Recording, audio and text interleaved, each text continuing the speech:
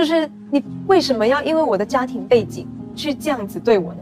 而且在那个时间的香港，你还加租，这个事情真的是不可能接受。这个算是你身份遇到的比较大的一个难处嘛，就给你带来了一些阻碍嘛。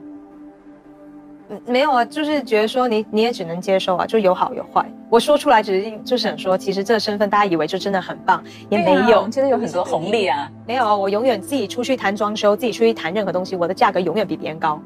然后我妈说，这就是因为你家里面有钱。这个是什么呢？这是原罪。关于赌王何鸿燊的传奇人生故事，自从他发家致富、建立豪门大家族开始，这几十年来已经被无数人关注、记录、研究、总结和议论。其丰富精彩程度异于常人，所以总是被人们津津乐道。围观者看客也百看不厌。赌王一生的桃花运都很好，他一共有四房太太，除了篮球，因为他生的五个孩子，他还有十二个孩子，所有孩子加起来共有十七个，因此他的家庭还被称为“四房十七杰，是好爸爸吗？他是否好爸爸要看用怎么样的这个这个角度去看。啊，他也不是一个很严厉的爸爸，反反过来他是永远他是我们的救星。如果是妈妈在惩罚我们的时候，他永远是来救我们的那一个。我爹哋系从来冇打过嘅，但系我细佬系，即系系啊，同埋永远佢系好恶咁闹个仔嘅，女佢就唔恶嘅，女就系石咯中咯，咁所以佢系。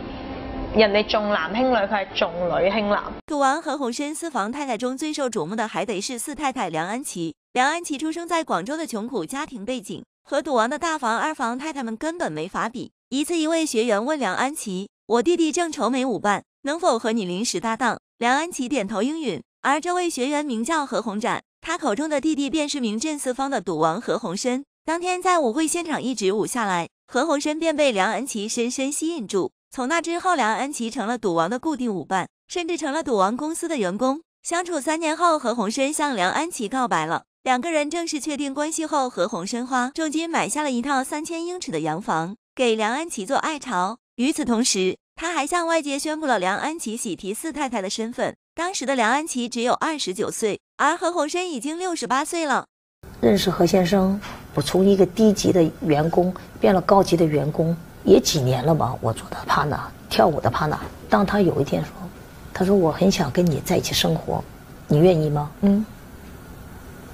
说等一下，我要先想一下啊。何先生他有一个承诺，我不会的。我你是我最后一个爱人。再想了两天之后，那我就也跟何先生，大家有个默契的讲。嗯。我不会给你压力，你也不要给我压力。《赌王的私房太太》里。最高调的是四太太梁安琪，但手段最狠的还得是二太太蓝琼英。一九七三年是赌王大房噩梦的开始，先是大太太李婉华在澳门发生车祸，导致她昏迷一个多月，还失去了一部分记忆。八年后，儿子何佑光和妻子也在同一地点发生车祸，并双双遇难。当李婉华得知此事后，一度伤心过度，一病不起。也是在李婉华生病的时候，赌王娶了蓝琼英。后来，赌王六十四岁迎娶了三太太进门。因为陪护的身份尴尬，何婉珍非常的安分守己，也不曾威胁到蓝琼英的地位。好，恭喜！哇！呢一啖咧，一定啊好味道噶啦，系嘛，学生？甜嘅，甜嘅，你话啦，学生，几识讲嘢啦？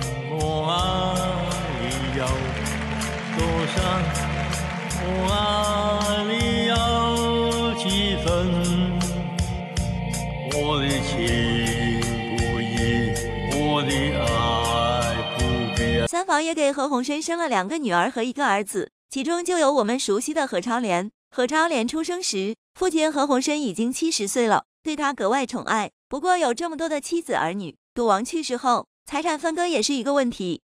作为赌王生前最宠爱的太太，四房梁安琪可谓是在媒体面前出镜率最高了。梁安琪也曾坦言。当年赌王何鸿燊就为了避免见面的尴尬，将几房太太的豪宅都安置在不同的地方。但是大家在一个公司开董事会的时候，还是避免不了见面的。所以这个时候大家之间的称呼就很能显现出来情商了。像赌王何鸿燊这样的大家族，家族成员见面的尴尬真的是避免不了的。一次三太的女儿何超莲就在路上偶遇了四太梁安琪，有谁注意到她对梁安琪的称呼吗？何超莲直接迎上去，冲着梁安琪甜甜的喊道：“天使阿姨。”呢个时候咁啱得咁巧见到四太行过，唔知超莲平时点称呼佢嘅咧？啊！啊，呢个叫法都几特别噶。这是什么神仙叫法呀？不愧是名文底蕴，这样的叫法真的太有情商了。好了，以上就是本期视频的全部内容，点关注不迷路，我们下期再见。